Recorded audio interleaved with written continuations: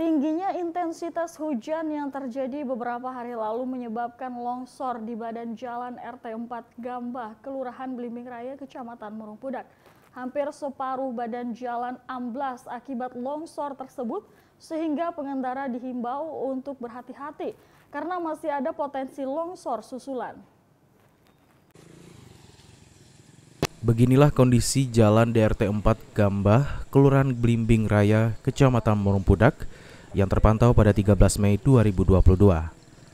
Jalan yang berada di sisi sungai Tabalong ini hampir separuh amblas akibat longsor yang terjadi beberapa hari lalu.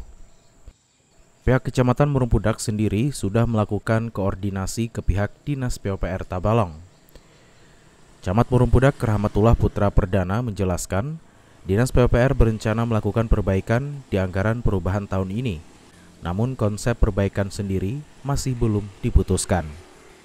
Saat ini jalan masih bisa dilintasi kendaraan roda 2, sedangkan kendaraan roda 4 terpaksa harus bergantian jika ingin melintas.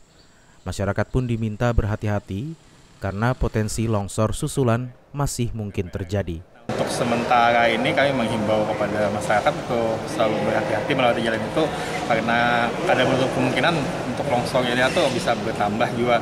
Nah, apalagi di setelah jembatan itu kan sekarang saat ini cuma memuat satu buah mobil aja lagi. Nah, jadi mungkin bisa uh, lebih berhati-hati melewati jembatan apalagi pada saat mungkin uh, setelah hujan atau pada saat hujan lebat karena tidak menutup kemungkinan akan bertambah itu longsor.